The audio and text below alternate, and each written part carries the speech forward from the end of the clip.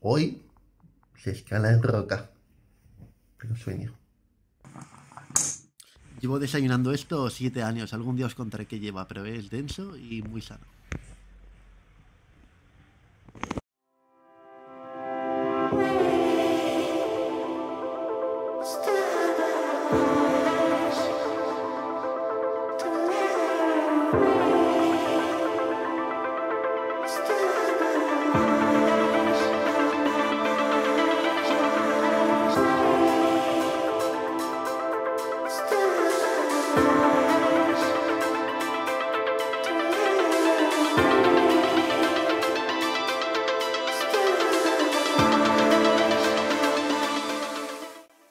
Hoy hemos venido al sector que se llama Lava y Verde, que está cerca de Calviá, en Escap de Ya. Y aquí veis la primera pared, que es más estilo plaquita. Y luego ahí hay una pared bastante dura, que es mucho más de desplome con grados que están en el octavo, aunque creo que hay una que es 6C o por ahí lo ponen porque no sé saber el grado muy bien. Este sector es curioso porque vine cuando empezaba a escalar con un colega y me caí en un quinto, que luego vais a ver cuál. Y me hice polvo. Vais a ver ahora fotos y vídeos que tengo de por ahí porque me golpeé en todos sitios. Es un quinto, la caída es fea como en todos los quintos. Y me hice polvo, pero bueno, ya veremos qué hacemos. Tengo intención de probar un 6 a más que me falta de aquí y el 6B más, pero me da que es demasiado duro y no vamos a poder.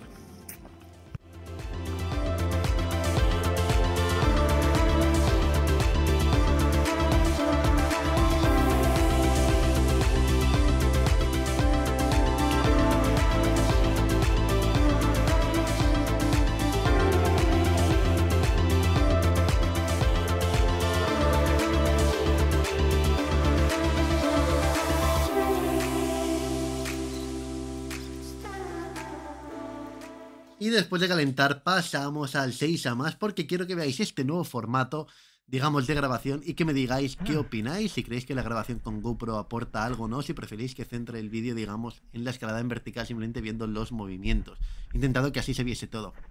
Y como el 6 a más es el más interesante, eh, pues os lo he puesto el primero. La verdad es que la vía pintaba bastante técnica y plaquera, pero la realidad es que una vez que la empezamos a subir, pues la cosa cambió. Yo la subí el segundo, con lo cual hice la escalada a flash, porque había visto a mi colega escalarla y también había visto a una pareja que estaba antes escalando.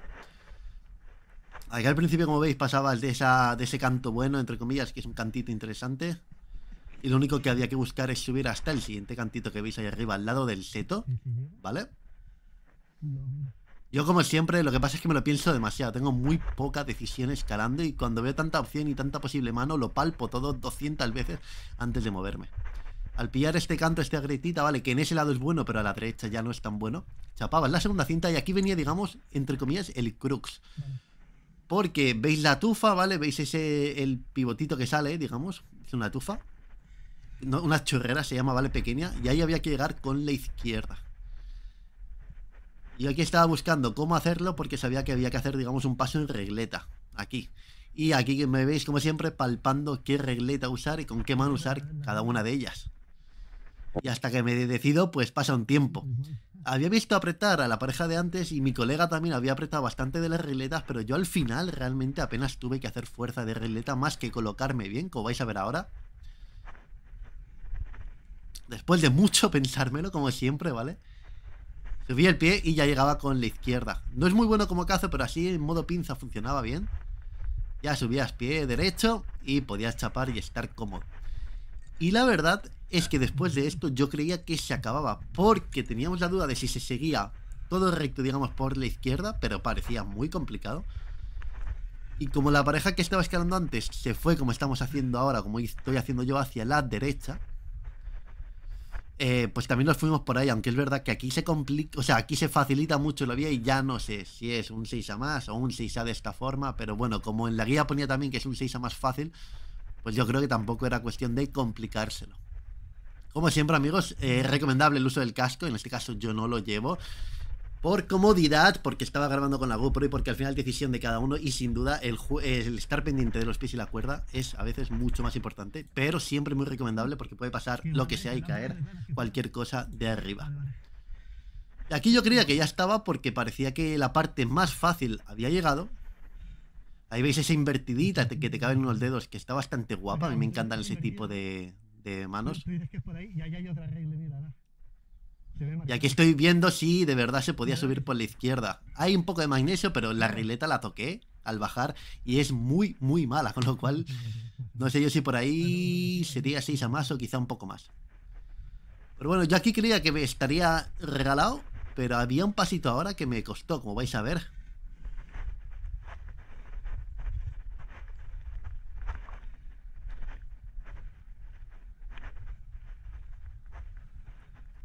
Sin duda porque había que irse hacia la izquierda y no tenía muy buen pie.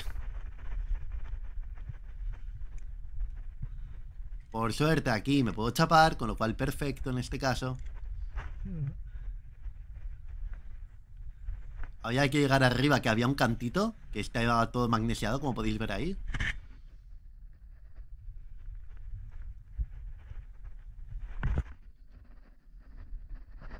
Ahí veis el estilo de gota de agua. Aquí pillabas el canto.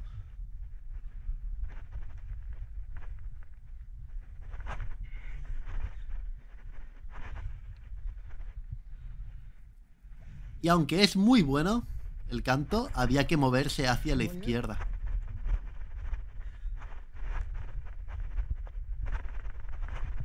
Y aquí empecé a no encontrar nada y dije, uy, uy, uy, que me pongo y nervioso.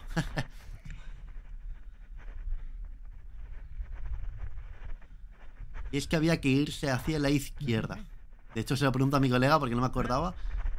Así que aquí intenté alejarme, no había ningún pie muy bueno. Pero finalmente, vale, cojo un cantito cómodo y ya está. Y veis que estoy abierto de piernas, pero bueno, bastante bien. Ahora aquí viene uno de esos pasos que molan, que es con buena mano, pues simplemente te decides ahí un poquito. Wop. A juntarte, fiup, y a seguir para arriba. Y aquí ya estaba, amigos. Llegamos a la reunión. Y es curioso porque aquí había un murcielaguillo. y mi colega me comenta una cosa que es cierta. Y es que al final hago los pasos difíciles fáciles y los pasos fáciles difíciles. Y creo que es porque demasiada opción me confunde. A mí me das un paso que tengo que hacer me dices cómo se hace y perfecto, pero me das una piedra y la puedo subir por donde quiera y mi mente colapsa y dice, ¿por dónde voy? Por aquí, por aquí, ¿por dónde será más fácil? Y eso sin duda me lío. Y como digo, aquí había un murcielaguillo o algo que hacía ruido en la reunión. Intenté grabarlo, pero no se veía nada. Vale, voy a ver qué Vale, píllame aquí si quieres. 463, ¿de qué? Esta es la toma falsa. ¿Qué haces ahí? Explícalo un poquito. Eh, mi entrenador me hace medirme la fuerza de dedos para saber la fatiga y técnicamente saber si te vas a lesionar o no. Evitar lesiones científicamente. Se supone que si tiene una fuerza de 500, pongamos, apretando hacia abajo, si baja mucho, es que ya tiene fatiga, con lo cual no debería forzar mucho. Y cada X vías, pues lo prueba un poquito. Lo cuelga donde pueda, a veces es una vía, a veces no. Pero ahí está.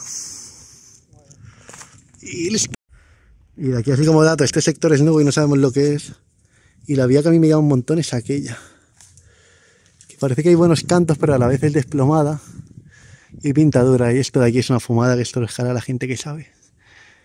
Tú si en una vía a ver cintas colgadas como hay, eso es que pinta duro. Alguien se deja las cintas para que le sea más fácil escalar el proyecto que tiene. Yo ahí me muevo bien en esa placa. Y mira qué pequeño. Pero eso es un 6 el que estás viendo casi seguro.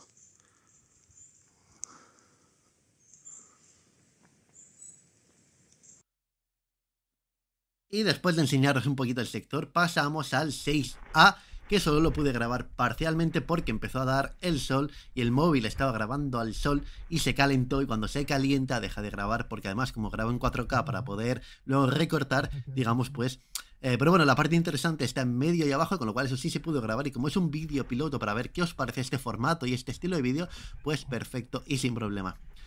Como veis aquí empezaba, ¿vale? La segunda chapa, digamos que tenía ahí un poquito de juego de colocación, quizá más para colocar la cinta. Yo de nuevo la subí de segundo, con las cintas ya puestas, con lo cual en este caso lo tenía más fácil que el hecho de tener que colocar la cinta.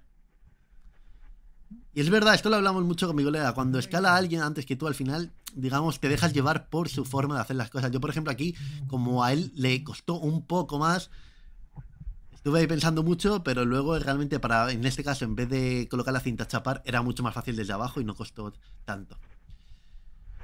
¿Vale? Con lo cual vais a ver que apenas subo un pie, un poquito, no he encontrado ninguna mano súper cómoda.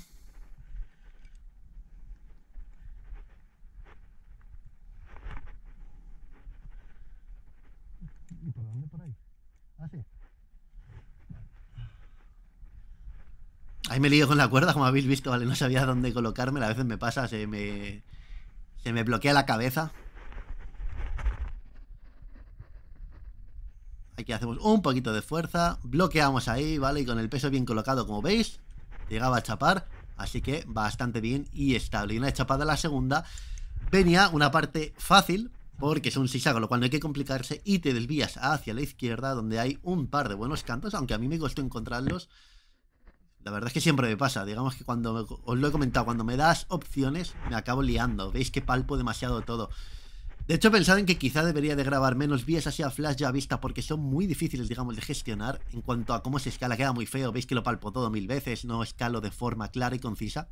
Sin embargo, una vía que tienes, digamos, dializada, una vía que has probado cinco veces o cuatro, quizá un 6B más, un 6B más duro, es mucho más fluido y quedaría más estético grabado. Pero así también veis la experiencia y los nervios que se sufren cuando escalas así alguien normal como yo, que sin duda no tiene un nivel para nada alto. Aquí, por ejemplo, esa no me fiaba, aunque mi colega me dice al final que acaba siendo de hombro. Y eso hacemos, ¿vale? Cojo esa lajita. Estilo hombro. Y, uso una técnica que mola bastante. Bueno, aún no la cojo porque, como veis, no la veo muy buena. Como pinza o lo que sea ahí, como regletita, no me gusta.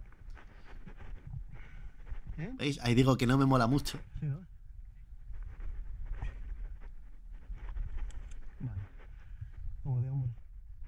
Y me dice que la coja de hombro, ¿vale? Que es verdad, si es estilo hombro, que son movimientos que además en LOL también, me bloqueo contra la pared que es lo que tenía pensado desde un principio. Al final casi siempre actúas por intuición, pero cuando estás cómodo te cuesta, digamos, dar el pasito.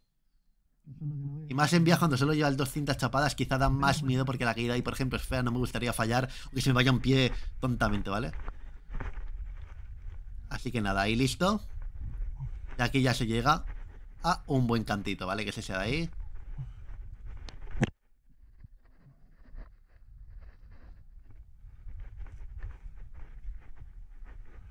La verdad es que la parte dura estaba aquí, porque se juntan de repente un par de manos no muy buenas unos pies no muy claros. Bueno, aquí justamente no, porque todavía estoy pillado del canto, ¿vale? Pero aquí en breve ahora se pone la cosa interesante. Y de hecho luego se acabó el vídeo, con lo cual, bueno, vais a ver la parte interesante y al final lo lento que sea. Fijaros que llevo, ¿cuánto? ¿Tres minutos para un pasito? Uy, qué mierda. Aquí me empiezo a cansar, ¿vale? Uy, qué mierda, eso es lo peor que te puede pasar. Porque las pulsaciones van mal, respiras mal y al final te cansas sin necesidad. Aquí sigo buscando algo.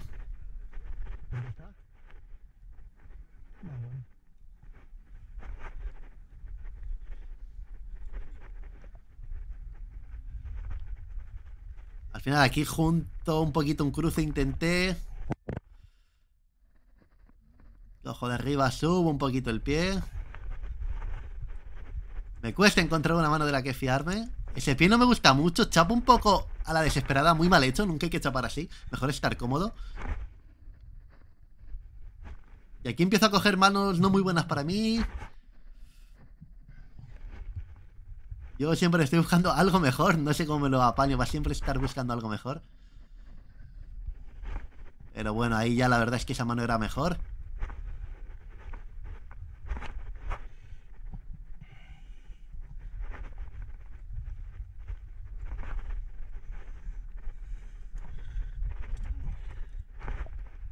Cruce bonito, me gusta ese movimiento, bastante guapo.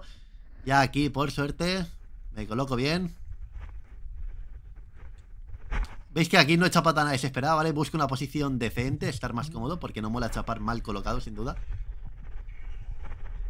Así que en vez de chapar, me coloco un poquito mejor.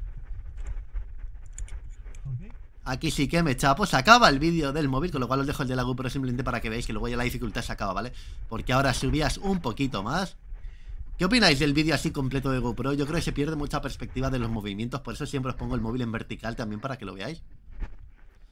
Pero nada, aquí subías un poquito, ya pillabas ese canto y podías descansar muy bien y luego la vía era un paseíto hasta arriba, ¿vale?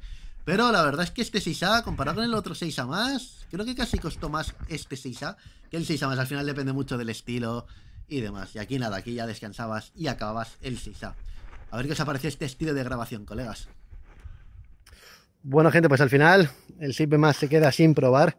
porque hemos hecho, yo he hecho cinco vías, mi colega que está por ahí, con el team de ha hecho seis vías, y yo he hecho una que no tenía, que es un 6 a más, y la verdad es que yo noto ya fatiga de poleas, estamos un poco cansados, y el 6 más pinta bastante plaquero el inicio. Eso... Y hemos tragado sol, que no contábamos con él, eso es cierto. Y nada, y lo dejamos aquí. Creo que tengo vídeos de tres vías, son quintos y 6A, pero es verdad que todas...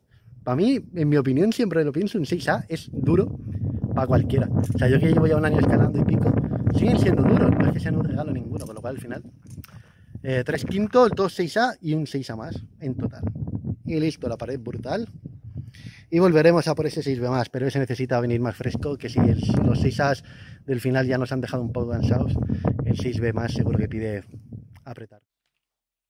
Aquí os enseño el 6B más un poquito. Lo único malo es que las dos primeras chapas parecían que eran así en placa. Yo no veía ninguna mano buena, desplomada y dije, ufa, aquí hay que apretar bastante las dos primeras chapas.